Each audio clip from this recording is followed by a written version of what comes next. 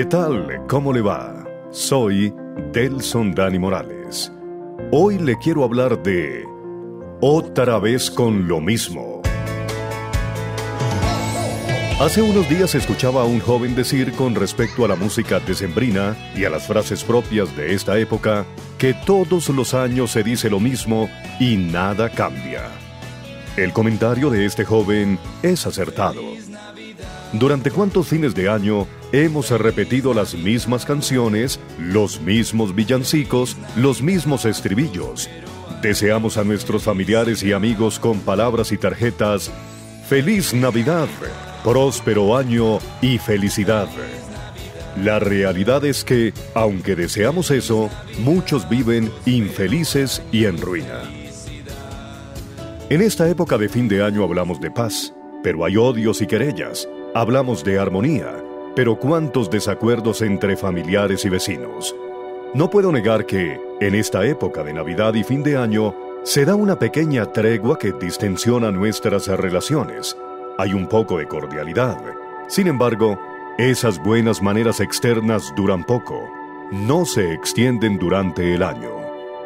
Los seres humanos somos volubles. En la gran mayoría de los casos, las emociones son las que rigen nuestra vida. Nos emocionamos ante el triunfo de nuestro equipo, ante un paseo, la compra de un vehículo o algún bien. Eso nos produce alegría momentánea, pero como las emociones son cambiantes, la felicidad cesa rápidamente. Esas mismas emociones son las que nos mueven en Navidad y Año Nuevo, pero como no son sólidas, pasada la época decembrina de armonía y paz ficticia, volvemos a caer en rencores, celos, amargura, envidia, afanes y muchas otras deplorables acciones.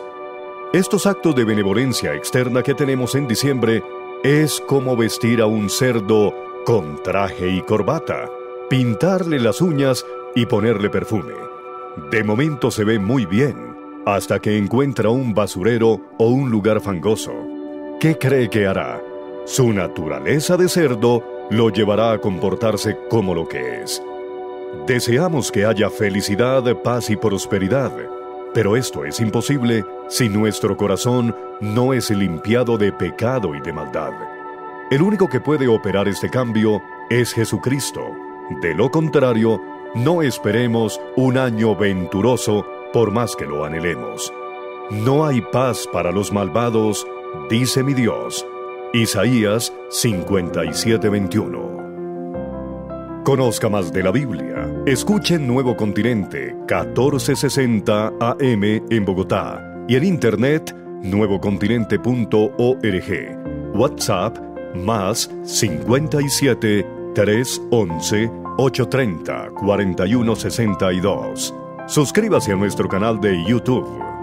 Hasta la próxima.